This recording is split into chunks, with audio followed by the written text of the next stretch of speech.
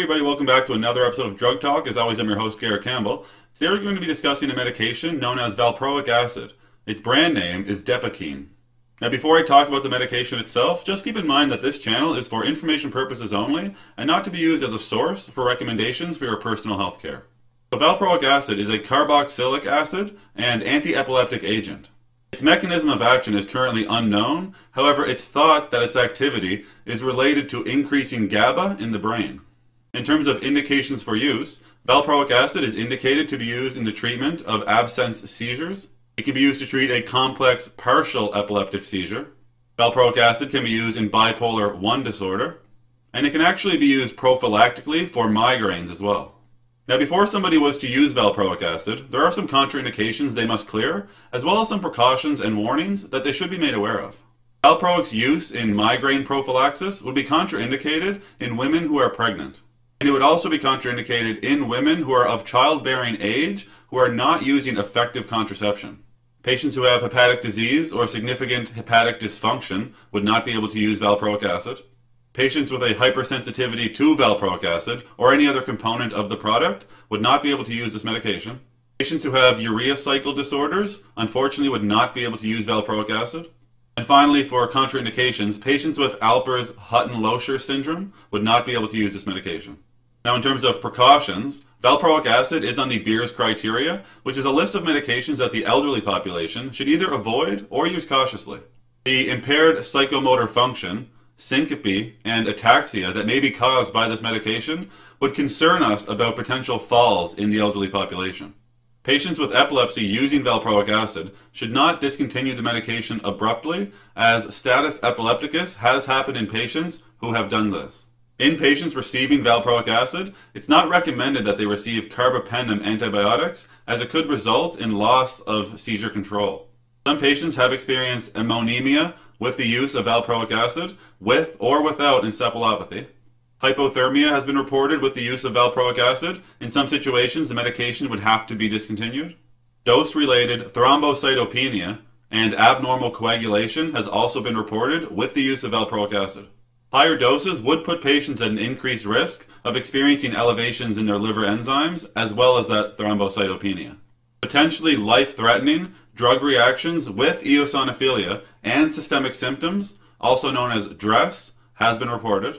Some patients have experienced suicidal thoughts while using valproic acid, so patients at an increased risk of suicidality should be more closely monitored. And finally, for precautions, the elderly population would require smaller initial doses and a slower titration towards their maintenance dose, as they're more susceptible to somnolence. Now, when somebody is cleared of the contraindications and made aware of the precautions and warnings, and they start using valproic acid, they can expect to receive their dose in tablet or capsule form. When treating absence seizures, the initial dose would usually be 15 milligrams per kilogram per day. We would want to give this in two or three divided doses if the total daily dose is over 250 milligrams. And then the dose can be increased by 5 or 10 milligrams per kilogram every week until seizures are under control. Occasionally, patients will have to stop their upwards titration due to tolerability of the medication. And the maximum dose would be 60 milligrams per kilogram per day. For complex partial epileptic seizures, the dosing would be the same except for the initial dose. Instead of using 15 milligrams per kilogram per day, you can use 10 or 15 milligrams per kilogram per day. When patients are using valproic acid for its off label use in migraine prophylaxis, they can use 800 milligrams daily. Some patients will go as high as 1,000 or 1,500 milligrams daily to try to keep the blood level of valproic acid above 50 milligrams per liter. Now, as with all medications, there are some side effects or adverse reactions that patients may experience while using valproic acid, so I'll list off some of those here now. 3 to 8% of patients may experience peripheral edema or swelling. Alopecia can happen between 6 and 24% of the time. About 6% of patients notice a rash. Anywhere between 4 and 47% of adults who use valproic acid notice a weight increase. Up to 23% of patients may notice abdominal pain, and about 5% may experience diarrhea. Up to 23% of patients may notice abdominal pain, and 5% may experience constipation. Up to 23% of patients may notice diarrhea, and between 22 and 48% will experience some form of nausea. Ataxia, dizziness, headache, and insomnia have been reported.